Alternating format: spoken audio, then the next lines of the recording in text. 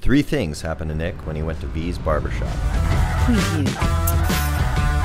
He got a great haircut, Wow. he got the job, Wow. And he got the girl. Wow. That's a great haircut.